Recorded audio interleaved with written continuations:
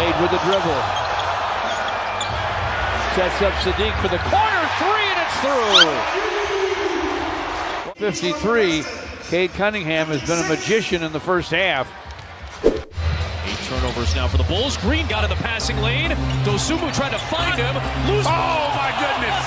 Oh, that's got to be on a player of the night. Oh my goodness! Another miss there for Monk on the opposite side.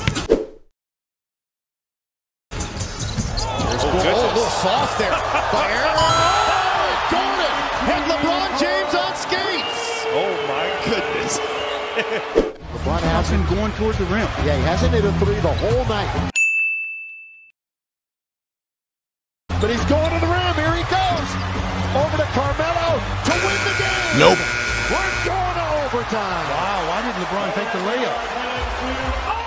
Looked like he might have had a reverse layup He had, opportunity. he had the reverse layup.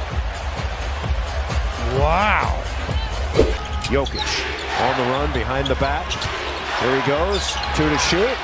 Hook shot is good. Wow. As good as it gets.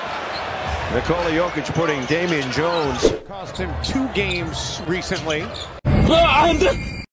including the one against the Wolves. Speaking of ankle issues, how about the ankles being broken on Lindy? Ross one on one against Hernangomez. Gets the open shot. It rims around and ah. round. Three, four trips around the sun before it goes in. 12th game with them. My Backdoor cut by Ross. Spinning, whirling, dunking. Ross, the torch, lights it up in the fourth quarter. Wow. Backdoor play, Terrence Ross, the setup, 360. But they got embarrassed the other night, Mike. You know how that goes. Pass somehow got through. Wow. That was amazing. Marcus Smart